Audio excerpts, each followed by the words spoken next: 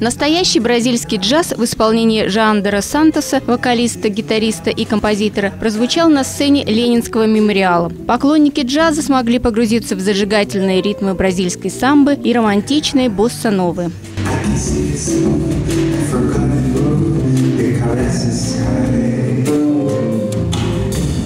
Вокалист группы Жандер Сантос все композиции исполнял на родном португальском языке. Музыкант родился в Бразилии в семье музыкантов. Окончив одну из самых престижных консерваторий Латинской Америки, Карлос де Кампос, Сантос выступал на лучших концертных площадках Сан-Пауло и Рио-де-Жанейро, участвовал в международных конкурсах и фестивалях, гастролировал по Латинской Америке, Европе и Африке. Уже полтора года музыкант живет в России. Очень многие композиции, вот, которые сегодня он исполнит, были написаны именно здесь, в России, потому что Россия на него производит такое вообще ну, переворот в его сознании, потому что ну, многое ему непонятно, ну, в нашей культуре, вообще в нашем быте.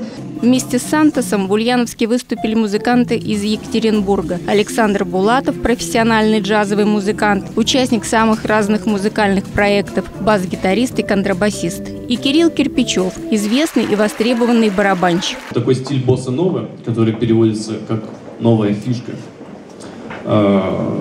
А, все, джазовые музыканты исполняют какие-то песни в этом стиле. Но на самом деле, а, так как испол, исполняет Джо Андер, э, для нас это впервые этот опыт.